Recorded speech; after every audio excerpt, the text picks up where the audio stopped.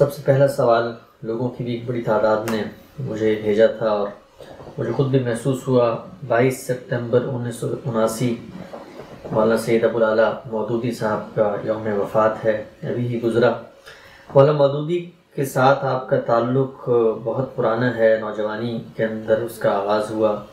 और वक्ता फ़वक्ता हम आपसे सुनते भी रहते हैं मौलाना की जो इल्मी फ़िक्री खदमात, उनका जो असर है मुस्लिम तहजीबी रिवायत पर। लेकिन आज मैं चाहता हूँ उनका योम वफ़ात अभी गुज़रा है, इसकी मुनासबत से कुछ उनकी ज़िंदगी की यादें आपके साथ हम ताज़ा करें। मैं पूछना ये चाहता हूँ आपसे कि आपका एक नौजवानी में उनसे ताल्लुक़ हुआ, करीब रहने का मौका मिला, उनकी ज़ाती ज़िंदगी, मामूलत, मामलात, डिसिप्लिन, और फिर उनकी जो शख्सियत के अंदर एक बुलंदी और रिफत, और फिर इखलाकी वजूद की जो पाकिजगी के हम वाक़ात सुनते हैं कुछ आप अपनी ज़ुबानी बताएँ, आपके क्या एक्सपीरियंस रहे और आपके क्या तासुरात हैं उनकी शख्सी हैसियत के हवाले से? इससे पहले मैं दो बातों की वजाहत कर दूँ। एक ये कि बहुत सी शख्सियात के बारे में आप पूछते रहते हैं। अंदाज़ा होता है कि शायद कुछ एक सिलसिला ही आपने शुरू कर दिया है। उसमें मैंने बाद ऐसी शख्सियात के महासिन बयान किए हैं या उनकी खूबियों की तरफ़ लोगों को तवज्जो दिलाई है, जिनके बारे में लोग जानते हैं कि मैं उनसे बहुत सख्त इख्तलाफ रखता रहा हूँ। मैं ये चाहता हूँ कि ये रवायत इस उम्मत में डाली जाए कि किसी शख्स से, वो बड़े से बड़ा आदमी हो सकता है, इख्तलाफ एक और चीज़ है और उसकी अज़मत के एतराफ़ में बुखल एक बिल्कुल दूसरी चीज़ है। बहुत गैर मामूली शख्सियात होती हैं। वो किसी शोबे में, किसी फ़न में इम्तियाज़ हासिल कर लेती हैं। उनके गैर मामूली असरात होते हैं। वो अपने नुक़ नज़र के साथ एक कमिटमेंट रखने वाली शख्सियात होती हैं। जिस चीज़ को वो अपने लिए सही समझती हैं, उसी का मुजस्मा बनकर दुनिया में ज़िंदगी बसर करती हैं, उनकी कदर करनी चाहिए। उनकी इज़्ज़त करनी चाहिए। ये दुनिया अल्लाह ताला ने इख्तलाफात के साथ बनाई है। अल्लाह की स्कीम यही है, यहाँ सब लोग एक नुक़ नज़र के नहीं हो सकते। तो हमारे यहाँ एक बहुत बड़ी गलती या एक बहुत ही गलत रवैया ये पैदा हो गया है कि जिस शख्स से आप इख्तलाफ करते हैं, और वो इख्तलाफ, मैंने जिस तरह कैस किया कि वो नज़री भी होता है, बाद अमली नौीयत का होता है। यानी एक शख्स के फ़िक्र से या एक शख्स के काम से कुछ नुकसान होते हैं जिनकी तरफ़ आप तोजो दिलाते हैं, लेकिन ये बिल्कुल एक अलग बात है। फ़िक्र क्या था? पस मंज़र क्या था? शख्सियत क्या थी? उसमें जो शख्सी अज़मत के पहलू थे, वो क्या क्या पहलू थे? ये उसी तरह कायम रहते हैं। मैं इमाम गज़ाली ने जो ताबीर की है, दीन की, जिसको सूफियाना ताबीर हम कहते हैं या शेख अकबर इबन अरबी ने जो ताबीर की है, उससे सख्त इख्तलाफ रखता हूँ। लेकिन ये दोनों बुज़ुर्ग बड़ी गैर मामूली हस्तियाँ हैं। इनके इल्म के मामले में दो राय नहीं हो सकती। यानी ये वही अबाकिरा में से है, जो एक किसी भी कौम के अंदर गैर मामूली लोग पैदा होते हैं उनमें से। तो एक बात मैं अर्ज़ करना चाहता हूँ। दूसरी बात यह है कि शख्सियात जब आप ख़ास तौर पर मज़हबी पस मंज़र में देखते हैं तो इसमें एक वो शख्सियात हैं जो किसी ख़ास इल्म और फ़न में अपना इम्तियाज़ पैदा करती हैं। जैसे फ़िक में हम इमाम हनीफ़ा का ज़िक्र करते हैं, इमाम मालिक का, इमाम शाफ़ी का, अहमद बिन हम्बल का और दूसरे बाज़ इमा का ज़िक्र करते हैं। नाहब में सीबे का ज़िक्र करते हैं, जमख्शी का ज़िक्र करते हैं, फ़र्रा का ज़िक्र करते हैं। इसी तरह लगत में खलील बिन अहमद का ज़िक्र करेंगे या बाद के लोगों का ज़िक्र करेंगे। तो दुनिया में जितने भी ूम हो सकते हैं, उनमें कुछ लोग अपने अपने इल्म में मुमताज़ होते हैं। तो इस तरह मजहबी में भी अपने इम्तियाज़ात हैं। अब जो हैसियत मसलन उसूल में इमाम शाफ़ी की है या शातबी की है, या मिसाल के तौर पर इब्न हज़म की है तो ये अपनी जगह एक इम्तियाज़ रखती है। एक दूसरा पहलू जिसकी तरफ़ मैंने लोगों को बहुत तवज्जो दिलाई है, वो ये है कि ऐसे जलीलकदर अहल इलम पैदा हुए हैं हमारे यहाँ कि जिन्होंने किसी एक फ़न में नहीं, बल्कि पूरे के पूरे दीन की ताबीर करने में बड़ी गैर मामूली खिदमत अंजाम दी है। यानी एक तो यह ना कि आपने फ़िक में काम किया, आपने लगत में काम किया, आपने इल्म कलाम में काम किया, ये मुख्तलिफ़ फ़नून है।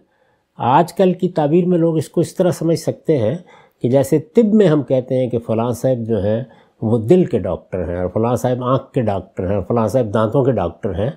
तो इस तरह फ़नून में इम्तियाज़, लेकिन बैसीत मजमू पूरे के पूरे दीन की ताबीर का काम बाज़ लोगों ने किया है।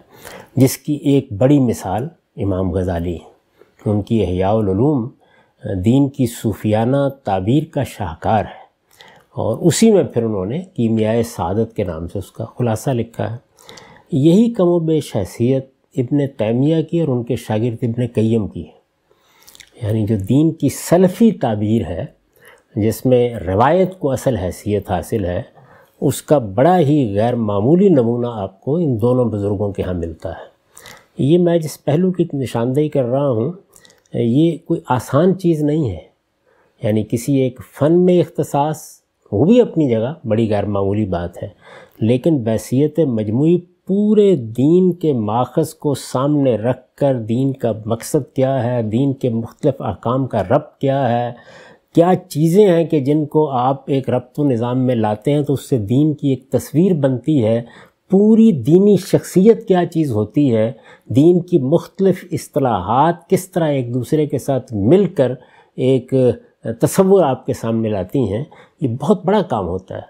यानी इसमें आसान नहीं होता तमाम मामला को एक रब्त निज़ाम देना। तो सलफ़ी ताबीर की वो नुमाइंदगी करते हैं।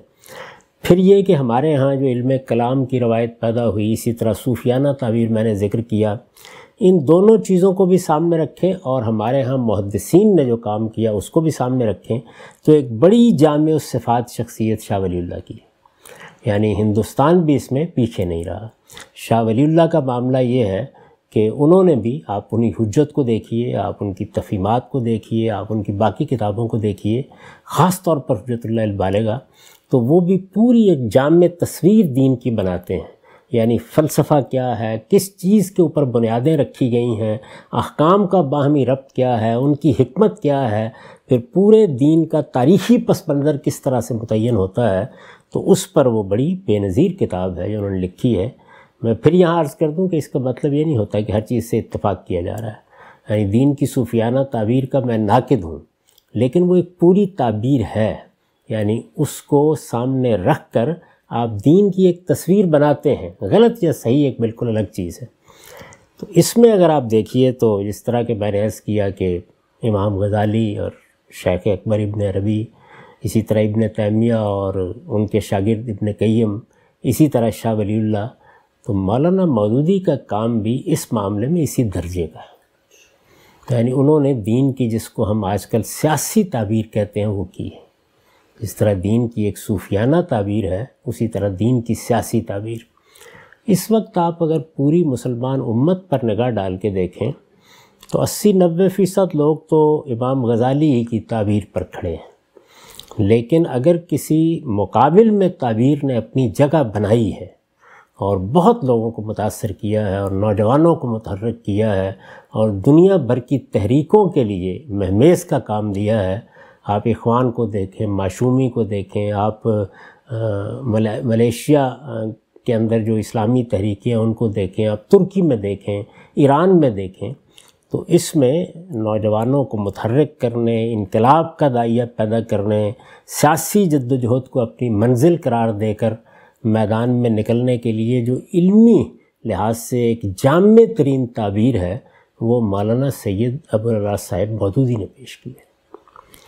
जब ये बात कही जाती है तो इसका हरगिज़ ये मतलब नहीं होता कि दूसरे अहल इल्म ने इस पर काम नहीं किया होता। यानी बेशुमार चीज़ें हैं कि जो मसलन आपको सियासी पहलू से देवबंद के यहाँ मिलेंगी। आपको बरेली के यहाँ मिलेंगी, आपको अहल हदीस हजरात के यहाँ मिलेंगी, आपको इसी तरीके से आलम अरब के बहुत से लोगों के यहाँ मिलेंगी। बहुत से इम्तियाज़ात आपको हसन बन्ना के यहाँ नज़र आएँगे। लेकिन जिस तरह से खालिस इल्मी बुनियादों पर मौलाना सैद अबुल साहब मौदूदी ने इसको बयान किया है, वो आपको कोई दूसरी मिसाल नहीं मिलती। ख़ुद इखवान के लोग अगर उनको इमाम दुआत कहते थे यानी इस्लामी इनकलाब जिसको कहा जाता है, ये दौर हाजिर की एक ताबीर है, इसके दाइयों के वो इमाम हैं। तो इसमें कोई शुबा नहीं ये मैं चाहता हूँ कि ये मालूम हो कि मौलाना मौदूदी, मौलाना सैद अबुल्ला साहब मौदूदी का काम कोई जुजवी नौीयत का काम नहीं है। यानी वो उलमा में से एक आलिम नहीं है महज। उलमा तो बहुत से पैदा होते रहते हैं। यानी आपके मस्जिद में जो मौली साहब होते हैं, वो भी एक दर्जे में आलिम होते हैं। इसी तरह जो मदरसों में मुख्तलिफ़ फ़लूम फ़नून पढ़ाते हैं, वो भी आलिमी होते हैं, लेकिन उनके काम की नौीयत ये है कि अगर आप पूरी मुसलमानों की बारह, तेरह, चौदह सदियों की तारीख़ उठाएँ और उसमें इस पहलू से देखें कि पूरे दीन को जामयत के साथ एक ताबीर की सूरत दे देना। यही चीज़ है कि जिसको सामने रख कर हमारे ज़माने के एक और बड़े आलिम, मौलाना वहीदुद्दीन खान साहब ने ताबीर की गलती लिखी। तो पूरे दीन की ताबीर करके उसको एक निज़ाम की हैसियत से पेश करने का काम किया, मौलाना सैद साहब मदूदी ने। माफ़ी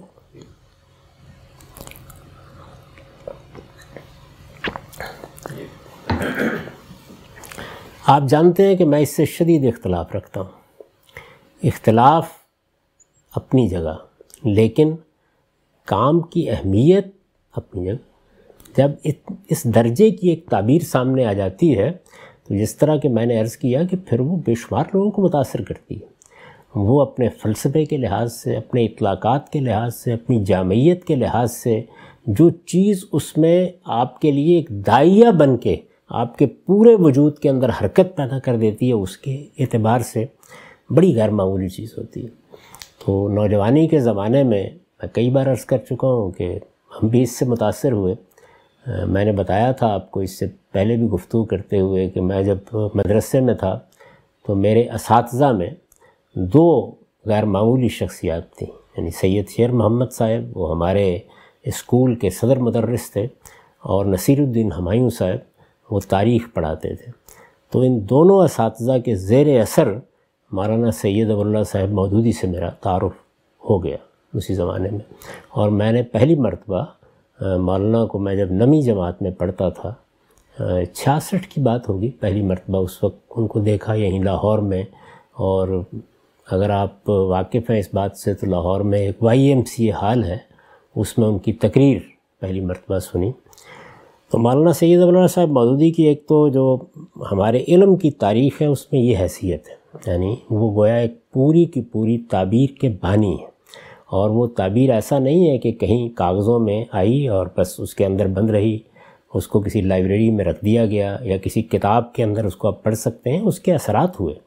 दुनिया भर में उसके असरात हुए। उसका एक दौर है। आप कह सकते हैं कि जो पिछली सदी थी हमारी, इस सारी सदी में इस ताबीर ने बेशुमार लोगों को हरकत करने पे आमादा किया और उन्होंने अपनी ज़िंदगियाँ इसके लिए लगा दी और बहुत तहरीकें उठी इसके नतीजे में। बड़ी उम्मीदें पैदा हुई। लोगों ने ख्याल किया कि एक इनकलाब आएगा और लोग इस इनकलाब के नतीजे में दुनिया में एक मरतबा फिर खिलाफत राशदा का नमूना देखेंगे। ये सब चीज़ें आसान नहीं होती, ये पैदा की, मौलाना सैद साहब मौदूदी ने। उसके बाद ज़ाहिर है कि फिर और तहरीकें भी उठी जिनमें कुछ दहशत गर्दी पैदा हो गई और इस तरह के इसबाब हुए, वो इखवान के ज़ेर असर भी उठी। और वो यहाँ हमारे यहाँ भी हुई वो एक अलग बहस है।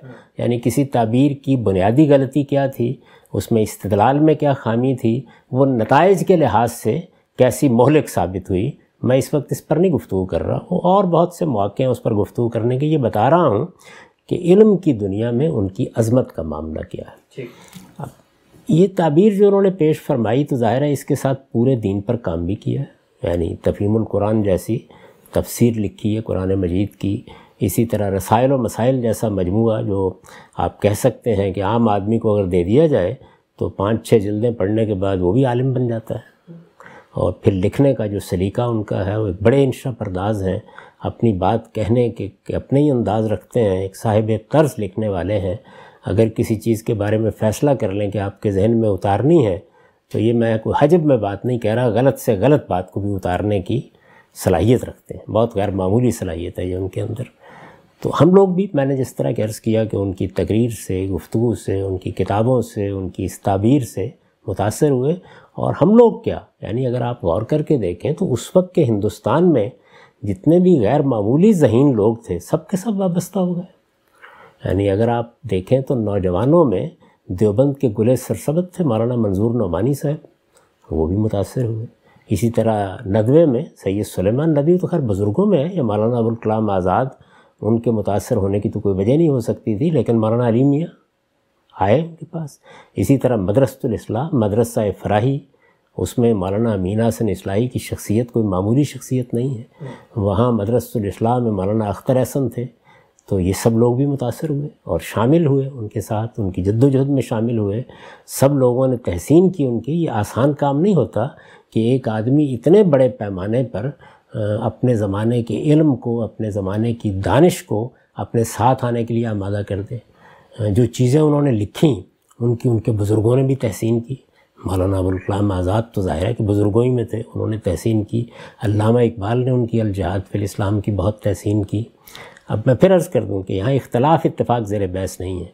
यानी एक शख्स की ज़ुबान, अदब, कलाम इस्तदलाल लिखने के तरीके मवाद जमा करने के तरीके, उसकी वसत मताल, जिस तरह से उसने पूरे नज़म को सामने रख कर चीज़ें बयान की, उससे बहुत लोग मुतासर हुए।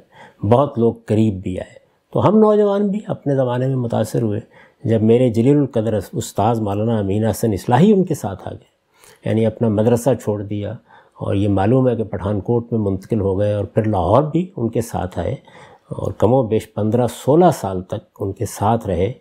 फिर उसके बाद वसल फ़सल की एक दास्तान है। वो इस वक्त छेड़ने का महल नहीं है। तो बहरहाल मैं गुजारिश कर रहा था कि इतने बड़े पैमाने पर असरात भी हुए।